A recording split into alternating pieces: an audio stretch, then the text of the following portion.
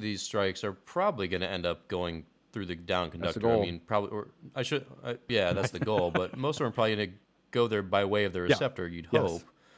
So, is the receptor itself is that a weak or strong link in that chain? It's actually a, a weak link in the chain I th- because the receptor is actually uh, handling a lot of the the lightning energy. Lightning energy is coming in on the receptor, so there's a lot of heat from the actual lightning channel on the receptor. So the receptors are pretty much always getting hot because there's thermal effects from the lightning channel and being close that close or to the lightning channel, which is roughly 10,000 Mhm. degrees Celsius. So a lot of that, it, it, in, a metal structure, it'll get hot just because of the connection.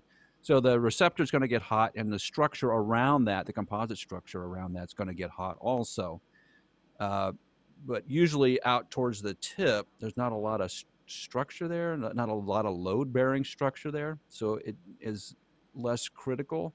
What's more critical as you go kind of go down towards the root of the blade, if that's where a lot of load is.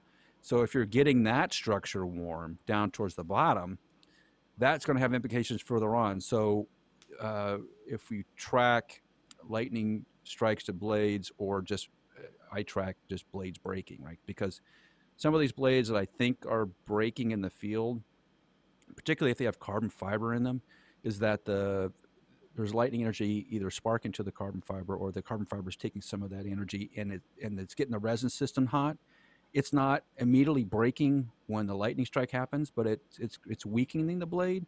And then it, as the service life continues and continues and continues, those weaknesses become exaggerated to become failure points and things break.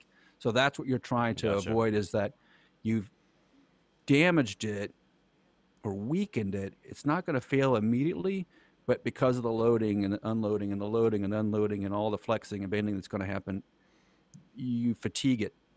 You basically fatigue